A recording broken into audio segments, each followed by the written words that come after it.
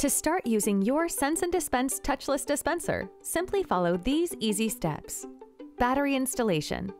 You'll find the spring-loaded battery tray on the underside of the dispenser unit.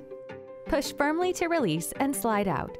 Install the four AA batteries included in the correct orientation. Once you have four batteries properly installed, insert the battery tray back into the dispenser, pushing firmly into the slot. Attaching the refill bottle. To attach the Sense and Dispense refill bottle, remove the shrink film and protective sticker. Also, remove and discard the red plug. Align arrow on the dispenser unit with the unlock icon on the bottle. Rotate dispenser until the arrow is aligned with the lock icon and click into place. Powering on and changing dosage. Using your Sense and Dispense is as easy as one, two, three.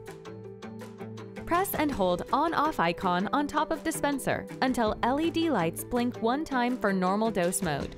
You may need to trigger the sensor several times to pump sanitizer to the dispenser for the first use. Sense and Dispense is on and ready to deliver a single dose. Tap the on-off icon again and the LED lights will blink twice. The dispenser is now set to deliver a double dose. Press and hold the on-off icon. The LED lights will blink three times. The dispenser is now powered off. Now that you've learned these simple steps, you're ready to use your Sense Dispense hand sanitizer dispenser.